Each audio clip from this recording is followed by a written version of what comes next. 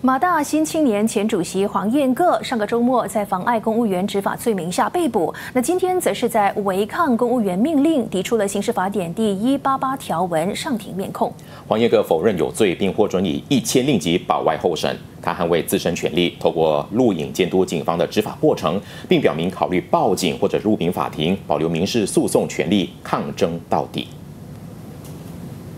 马大新青年前主席黄彦各今早抵达八达岭在野推事庭，面对违抗公务人员命令罪名面控。他涉嫌上星期六在警方突击雪兰莪八达岭在野一家住处时，录影拍下执法过程，结果遭警方当场逮捕，并援引刑事法典第一八八条文，也就是违抗公务员在法律授权下所颁布的指令，提控黄彦各。一旦罪成，他可被判监禁不超过一个月，或最高罚款四百令吉，或两者兼施。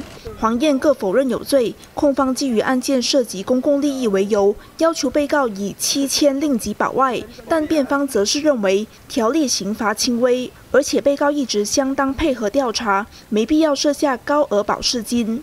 推事最终同意保释金下调到一千令吉，则定明年二月四号过堂。黄燕各事后捍卫立场，认为警方不应该限制人民监督执法。啊，saya akan berbincang dengan program saya sama ada untuk membuat laporan polis dan atau pun apa kata file a civil suit. This one I was still discussing with my lawyers. I haven't made any decision. I will discuss with my lawyer. But saya mempertahankan hak saya merakam video. Okay. So saya juga ingin menyuruh supaya rakyat tidak berasa takut. Jika terdapat pihak berkuasa yang menyalahkan guna kuasa, rakyat perlu merakamkan tindakan mereka dan menyerahkan bukti ini kepada pihak berkenaan atau pihak berkuasa untuk mengambil tindakan yang selanjutnya. 黄燕各事后指责网军试图打压大学生，他列举三大诉求，希望公众关注此事，要求有关当局停止纪律调查、刑事调查所有学生，并且不提告任何新青年成员。我们可以发现到，就是网军啊、警方啊，甚至是整个国家机器都展开前所未有的发动了一起猎巫的行动。他们立志要毁掉这一群年轻人、这群学生的未来，而学生只做的东西只不过是一个理性、很理性的做了一个学术的讨论而已。